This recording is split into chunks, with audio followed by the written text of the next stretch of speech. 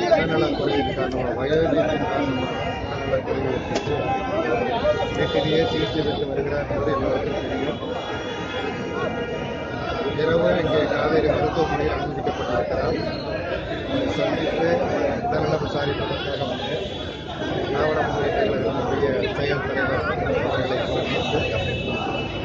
எடுத்து விசாரித்து மிக நன்றாக இருக்கிறார். ஒன்றும் பிரச்சனை இல்லை கவலைப்பட வேண்டியதில்லை.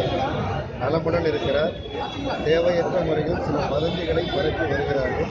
அதற்கு பொதுமக்களும் கட்சி தோழர்களும் தொண்டர்களும் இடமளிக்காமல் இருக்க வேண்டும் என்பதுதான் நம்முடைய கருத்தாக இங்கே கொடுக்கின்றார் நலமுடன் இருக்கிறார். நிச்சயமாக நல்ல நிலையில் அவருடன் நலம் பெற்று மீண்டும் தமிழ்நாட்டு மக்களுக்கு அவர் பணியாற்றுவார். நிச்சயமாக என்ற அழுத்தமான நம்பிக்கை எனக்கு இருக்கிறது.